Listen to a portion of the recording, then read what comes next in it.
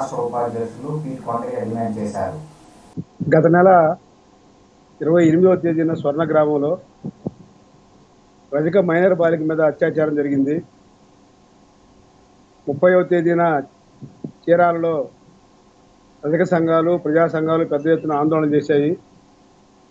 ఈ మేరకు డిఎస్పి గారు నిందితుడిని అరెస్ట్ చేశారు.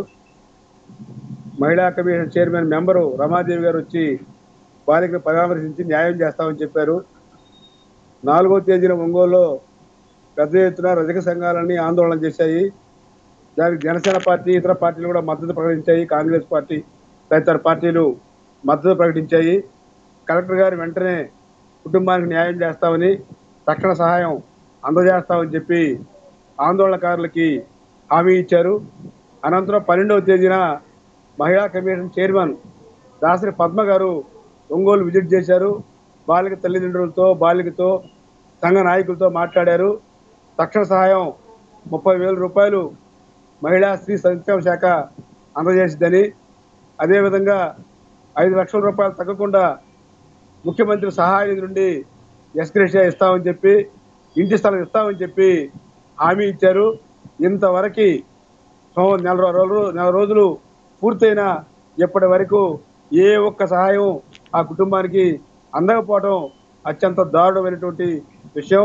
అందువల్ల వెంటనే ప్రభుత్వం స్పందించాలని ఏదైతే బాల్య కుటుంబాన్ని ఆదుకుంటామని కలెక్టర్ గారు మహిళా కమిషన్ చైర్మన్ హామీ ఇచ్చారో హామీని నిలబెట్టుకోవాలని చెప్పి మేము కోరుతా ఉన్నాం. లబ్ధిదారుల సంఘాలు పెద్ద ఎత్తున కలెక్టర్ కార్యాలయం వద్ద ఆందోళన నిర్వహిస్తామని చెప్పి మేము ఈ సందర్భంగా ప్రభుత్వాన్ని హెచ్చరిస్తున్నాము. రజిక బాలికకు అన్యాయం జరిగితే స్పందించకుండా ప్రభుత్వం కేవలం నిర్లక్ష్యం వహిస్తూ ఉంది. ప్రతి జాతి పట్ల అవమానకరంగా వ్యవహరిస్తుంది బాధితురాలు పేద కుటుంబానికి చెంది బలహీన వర్గాలకు చెందినటువంటి బాలిక వీళ్ళకి సహా న్యాయం చే న్యాయం చేయడానికి ప్రభుత్వం మేనమేషాలు లెక్కించడం సరికాదని చెప్పి మేము చెప్తా ఉన్నాం.